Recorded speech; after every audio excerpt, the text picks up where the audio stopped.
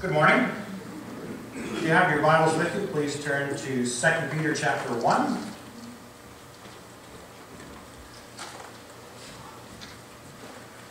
Last week, we, when we gathered together, we did a, a special service and uh, about passing our faith along and picking it up.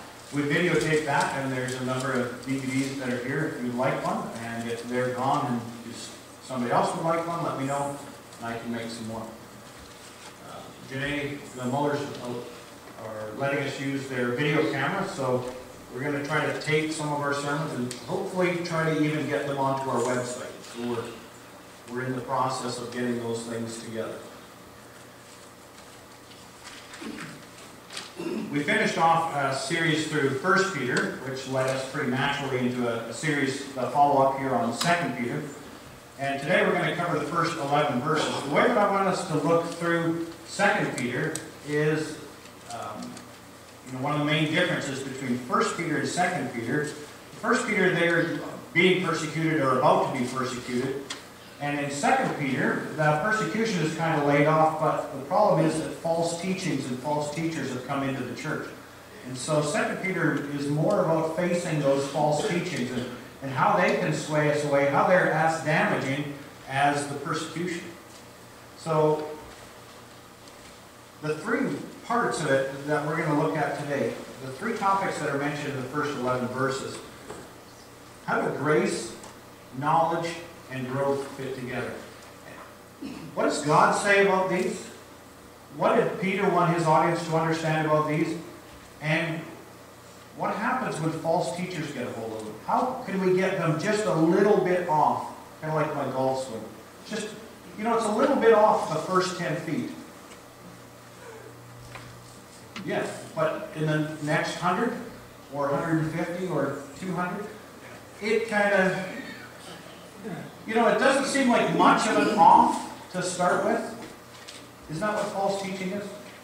It's just a little bit off center. Just look at it this way. But yet, when you take that far enough down the line, you see how far off the middle it is. You're no longer even on the same fairway or golf course sometimes, depending on what you're doing. So, our understanding of grace, knowledge, and growth are important. The audience is the same, first and second. It's mainly Gentile Christians, but it's from a large area, people that are quite separated away from Jerusalem. They were taught and they felt like they were second-class Christians. They were taught and they felt like they were second-class believers when they were under Judaism. But now they felt like they're second-class Christians. So, so 1 Peter focuses more on them understanding, but God loves you the same. The same terms that he uses for the Jews, he uses for you. God wants you to think of yourself the way that he thinks of you. And the church was persecuted.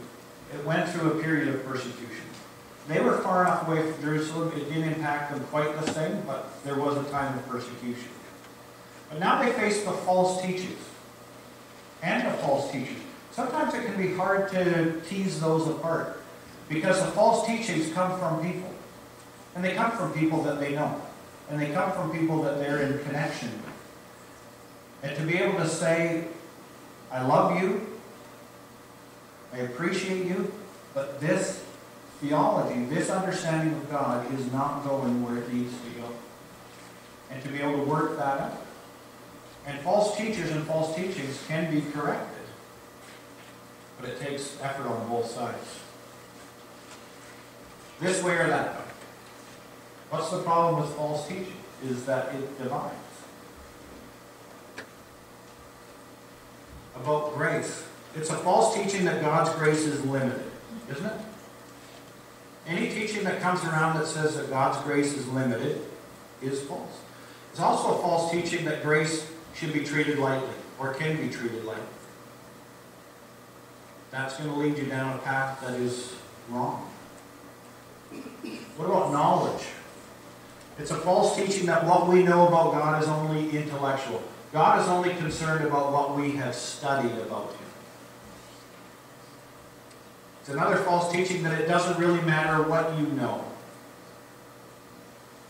It's more about who you are. Or that we achieve God's grace once we know the right things.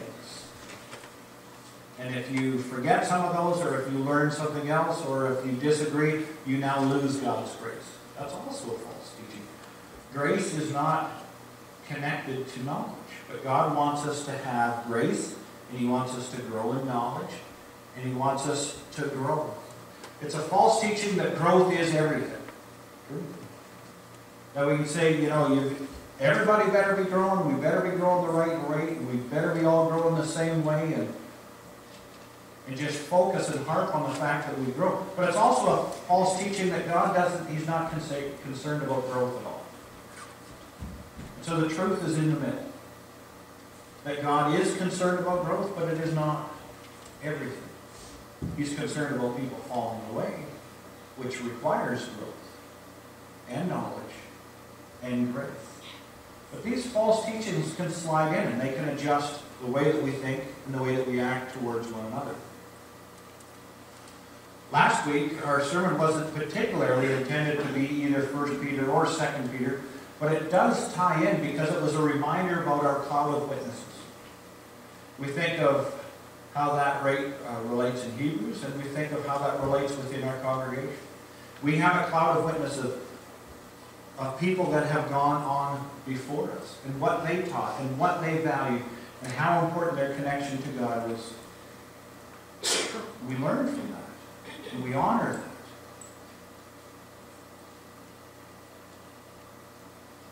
This week, as we get going, I want us to point out, as you read through, I want you to notice some of the repeated words and concepts within the first 11 verses. And it starts with one that I've missed many times. There's a verse that, there's a word that comes up twice that I think holds more of a foundation than I've given it credit for in the past. And that's the word precious. What in your life would you describe as precious? Start thinking of those things. How do you define between something that is precious or that is not?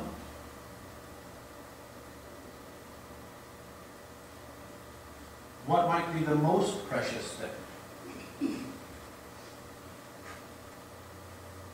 If you lost it all but, what's the but?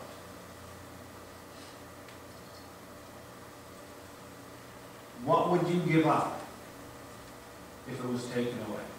What would you give up to get it or to get it back? Or what else would you surrender in order to keep the most precious things or thing in your life?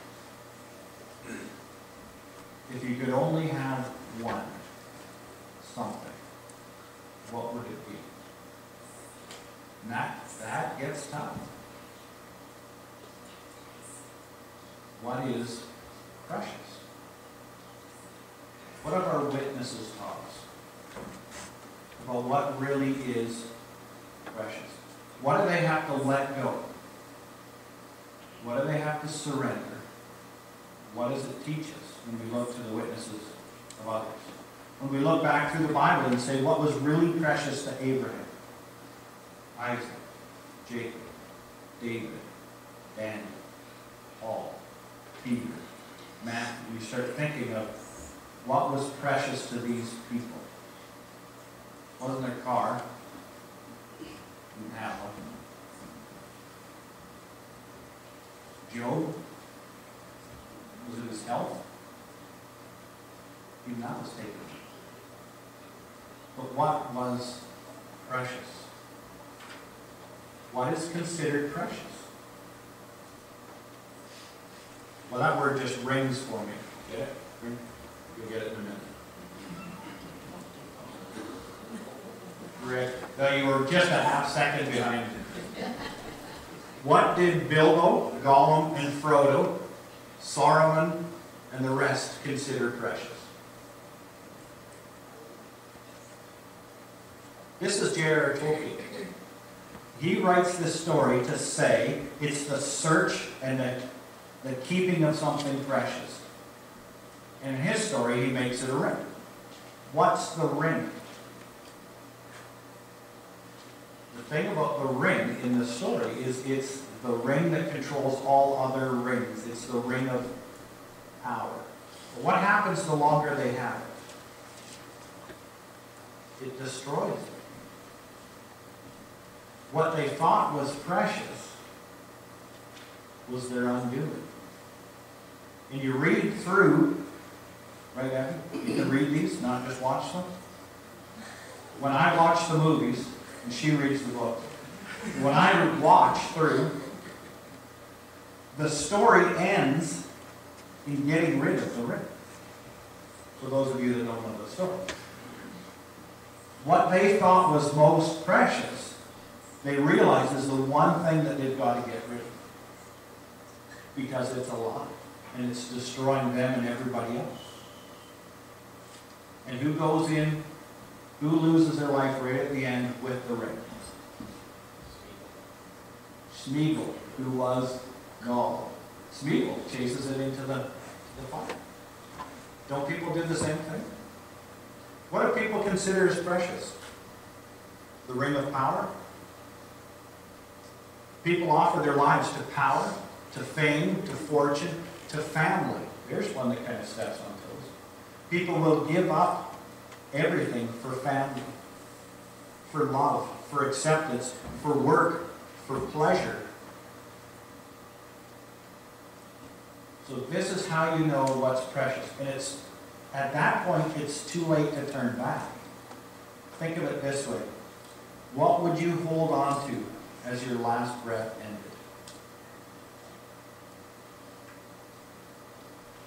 Isn't that really what's precious? Because at the end of this life, you can't take any of those with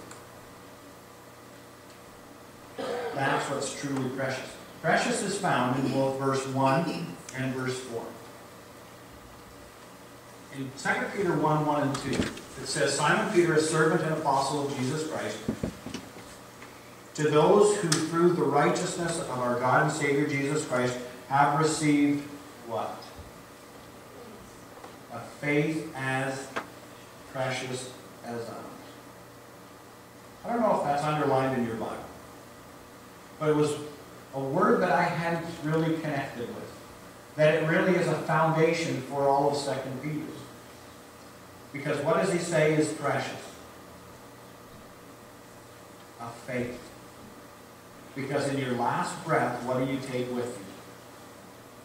Your faith. And is it more precious than fame and fortune and family and love and acceptance? And would you give up everything? Everything. If it meant that or your faith. Well, that's a hard call. Would I give up my kids if it meant faith or kids? I gotta go with faith. Isn't that brutal? But it's the only, because it's a faith as precious as ours. Because they know that they can hold on to their faith.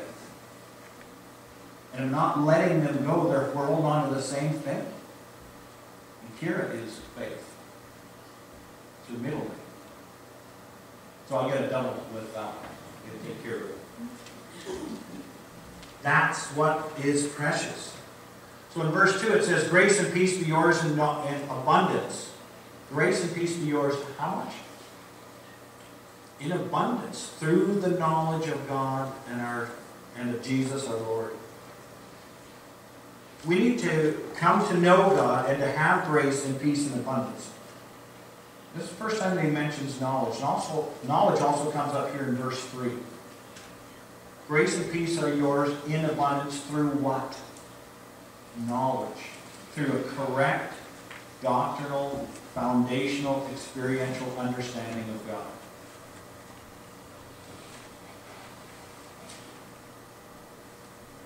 This verse is so good it's a song. His divine power has given us everything we need for life and godliness through our knowledge of Him who called us by His own glory and goodness.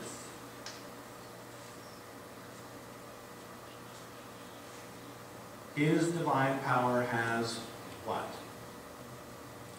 It is what gives us. It gives us how much?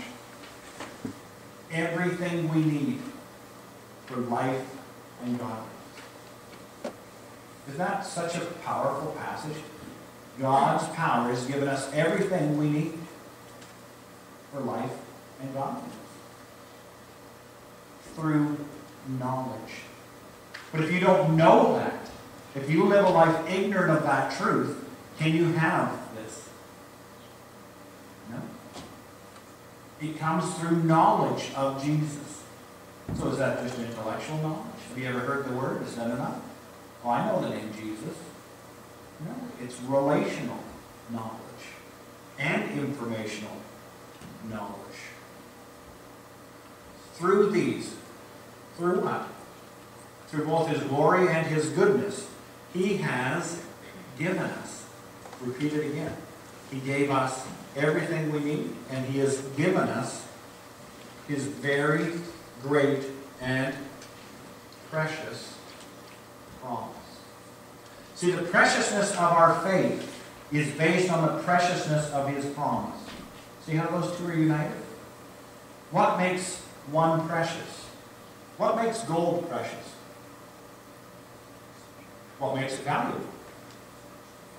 Its rarity. There's not a lot of it. That's what part of what makes it precious. We value it, has unique principles. It doesn't tarnish. Gold is precious because of what gives it its value. Our faith is precious because of what gives it its value. Our faith is completely tied together with the precious promises. If those promises are not true, how precious is your faith? The purity of one impacts the purity of the other. So that through them you may participate in the divine nature and escape the corruption in the world caused by evil desires. Boy, I teased this one apart this week. Divine nature, divine, God, nature. What? I tried to find different translations of this. What do you mean? Are you saying that we're actually like like God because of this? Divine nature? Have you noticed that in there?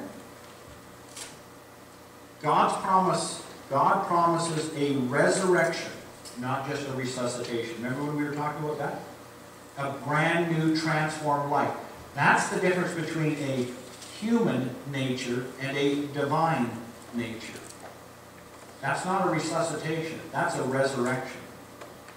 Through God's grace, our nature is changed. Why?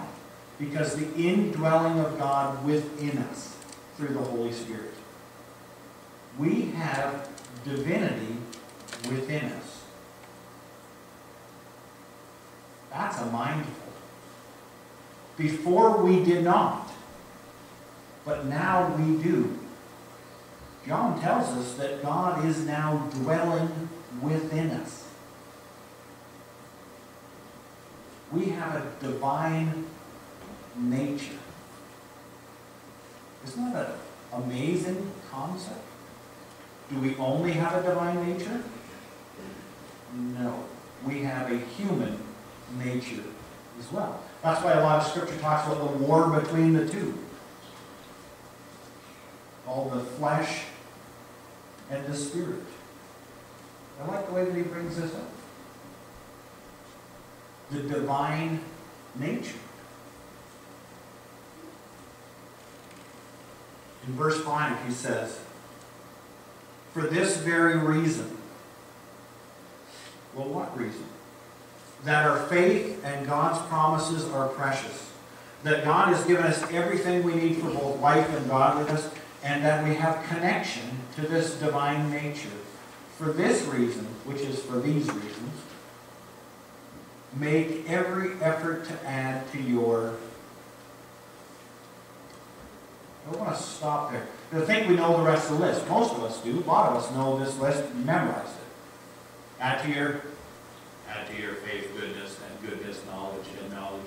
If you just memorize it, what is he talking? But this precedes that. It doesn't matter what the list is if you forget the first part. Would you agree with that? It doesn't matter what comes with add to your if you forget the first part, that it's tied to the precious promises, that your faith is more precious, that God has given us everything. It doesn't matter what the list is if you forget that first part. Why we do what we do is important to God. So you can add to your faith goodness and to goodness knowledge. But if you don't do it because your faith is precious, because the promises are precious, because of a divine nature that's within you, it's different. God wants us to do the right thing for the right reason. False teachers teach that this list or any other list is all that's important here. So I'm looking at your life. If I don't see you adding to your faith goodness, and if I don't see that it's getting added at the right rate, at the right level of growth, then you don't deserve God's grace. See, false teachers can take any list and say the story here is about the list. The list comes from relationship. False teachers can also say whatever else he says here doesn't matter anyways. Well, if it doesn't matter, why did he put it in? False teachers teach that this list or any list is what makes you right with God. Is that true? No. You were saved by grace. You were saved because the promise is precious. The truth is that when God is living within us, our faith grows, not because it has to, but because it's alive. And it needs to. Living things grow. So what are we making every effort to add? You notice that's not too conditional. It's not when you got spare time. It's how much effort. Make every effort to add. So is this a checklist? Well, it's a reminder. Make every effort to add to your faith goodness. And to goodness, knowledge. And to knowledge, self-control. And to self-control, perseverance. And to perseverance, godliness. And to godliness, brotherly kindness. And to brotherly kindness, love. And to love, that's the end of the list. What was the first one? Faith is the first one. What's the last one? Love. Starts with faith, ends with love. But isn't it more of a circle? It's faith and love in demonstration, in effort, in action. It's bookended by faith and love. Faith is trust in God. Isn't it? That's what the word faith means. That's the concept behind it.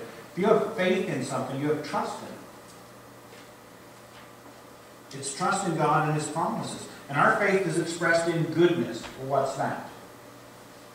How about being good? Too complicated for you? If you have faith, are you a better person? Do you make better choices? Yes, but it's based on those precious promises, which leads to a better knowledge of God, a better understanding of, you know what? This is better than that.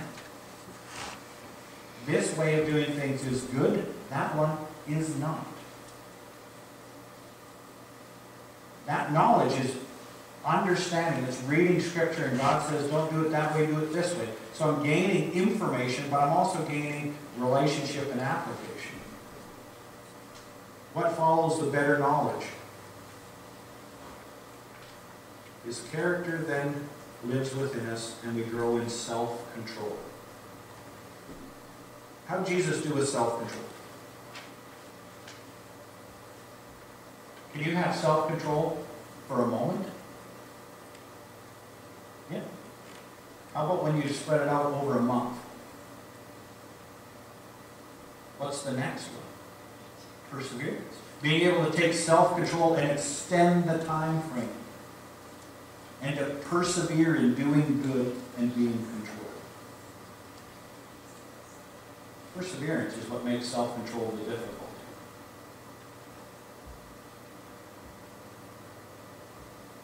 That develops godliness. What's the time frame that God expresses self-control? Forever. That's the godly nature. To be able to express self-control, to do good every time, forever. Why does God want us to grow in that? Because it's a better life. That leads to brotherly kindness, because we understand that other people struggle with doing good all the time. And sometimes they don't make good choices. And so that gives you an opportunity. You can then evaluate and say, you're not doing it right, so I feel better about failing. You know, I'm just looking for somebody else to mess up so I feel better about it. We're to say, let's get back to persevering. Let's be kind to one another. I need grace, you need grace. Let's share that. Brotherly kindness leads to godly love. Where you say, I want the best for you. And I want, I want you to help me, and I want to help you. We need to do this together. It's not a list to work on as much as it is a list of things to look for as they grow within us. because of a change that we consider, in what we consider as precious. Does that make sense? It's not so much a, oh, I'm going to focus on self-control and make that pop out of me somehow, as it is to, if I reconsider what's precious in my life and how precious God's promises are, self-control will develop pretty naturally. Not something we just have to artificially create through huge amounts of effort. But the other, the first part, is what connects it. Because God already said, I gave you everything you need for life and godliness. I've given you everything you need to be able to do this, to live this way, to add to your faith goodness. You have all of that. You just got to let it happen. Then we have a promise and a warning. Verse 8 is the promise. It's a conditional promise. For if, if you possess these qualities in increasing measure, they will keep you from being ineffective and unproductive in your knowledge of our Lord Jesus Christ. So look at that again. What keeps you from being ineffective and unproductive? These qualities. If you have these qualities, that are naturally increasing, they help you to not be ineffective and unproductive. You notice that even that's the gift. How much effort does it take to do this? Well, it's not about the effort, but the surrender. These qualities help us to make our knowledge of Jesus effective and productive. Because we know about God, we know about Jesus, we know how He lived, and if you have these qualities, and they're growing. The better we know Jesus and follow his example, the more evident these traits become. See that in there? If you don't focus on Jesus, if you focus on your growth, you're putting yourself off center. And he provides a warning. But if anyone does not have them, he is nearsighted and blind, which you can't actually be. Okay? They're both vision, but they're contradictory. What's nearsighted mean? You can't see what's right in front of your face. And blind is you can't see anything at all. What led to the not seeing what's right in front of your face or losing vision completely? Because you've forgotten that you've been cleansed from your past sins. You took your eyes off what was important. Knowledge develops these promises, and forgetting brings the warning. We tend to forget when we take our eyes off Jesus, making us focused on the wrong things and blind to what we need to see. That's because we're making something else more precious than that relationship with Jesus. And those of you that have studied with me for the last number of years, what's the next word? We look for the therefores. This wraps it up. Therefore, my brothers, what are we supposed to do? Be all the more eager to make your calling and election sure. And the your there is not just mine, it's your. Encourage everybody to make their calling and election sure. For if you do these things, you will never fall. You know, I tried to tease this one apart too. That's a pretty bold promise. You will never fall, and you will receive a rich welcome into the eternal kingdom of our Lord and Savior Jesus Christ. These last two bits, the way that it ends, not the best translations of it. I think it's a little bit misleading. So a couple notes on this. The word fall there. Stumble and fall away. To become wretched. Not just trip, but you will never fall away. Isn't that a subtle enough difference? Does this promise if you let these things grow, you'll never sin again? You'll never have a difficulty in your life? No, it's more a promise that you, if you focus on the right things, you won't fall away. And the other part is, you will be given entrance. See, the way the NIV translates it, it ties it to the rich promise, and it's more about the rich entrance. The richness of being given entrance. So the New American Standard does a better translation of this. For in this way, the entrance into the eternal kingdom of our Lord and Savior Jesus will be abundantly supplied to you. Isn't that a cool concept? So when you're ready to enter, God will lavish that on you. He will richly welcome you into the kingdom. That, that being entered into the kingdom is another rich gift that you will be abundantly supplied.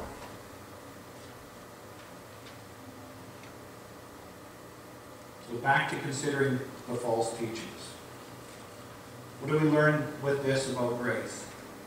It is to be valued and not taken lightly. And knowledge, knowledge of Jesus grows through studying Him and following Him but it is not the foundation for grace. Grace has been given freely. We know God because we love God. And growth, probably the more controversial part about this, where the false teachings go across. Because if you go into this and you just focus on 5 through 8 as here's what you have to do, you're missing the point. What does it really say about growth? What is Peter trying to convey to his audience? What do we understand today? Is that growth is a natural result of appreciating God's grace, seeing our faith and God's promises as the most precious items in our lives, and being a disciple of Jesus in action. Growth is multifaceted. It's not just a change of behavior. It starts with a change of focus and a change of priority. And growth happens because of that. If you're trying to grow in these by just putting your effort, guess what? You already know it's short term and you will fail and you will be frustrated. It's not that you don't put in effort, but you put in effort because of a change of thinking. And that's what helps us grow. So I want to encourage us to apply this in any or all of these three ways. This week, consider what is truly precious in your life. Well, how do you know what's precious in your life? What do you think about? What do you talk about? What do you spend your time doing? What do you get frustrated when somebody else messes with? That's precious. Because there comes a time when you have to reevaluate. Ask yourself if your faith is the pearl of great price that God calls it. Isn't that what he says in Matthew? He finds the pearl of great price, what does he give up for it? Everything. Everything. If it was your faith and nothing else in your life, would you still take it? Nothing. I mean, if it meant you had to walk away from everyone and everything, would you take it? Or would you say, I only want faith as long as I can have all the rest of those are going to fade? You can't take anything else with you. The value of following God is He says, if you focus on this, I will give you all of that. But if you focus on that, it corrupts your faith. If you focus on your faith, you will have everything. I will take care of you. Beware of the false teaching that creeps in when we lose focus on Jesus. Isn't that really the foundation of false teaching? It's the foundation of a bad golf shot. Took a look. You don't focus on the right thing. It impacts the whole part. So focus on Jesus. Keep your eye on that foundation, and that's what will carry you through. Because God has given us everything we need for life and godliness. We just trust. And we grow because of that relationship. We're going to continue in studying 2 Peter. Sometimes we're going to do larger sections, sometimes we're going to do smaller sections. It's not that long of a book. Fit it into your reading and just be immersed in the Word and uh, receive the blessing of it that way.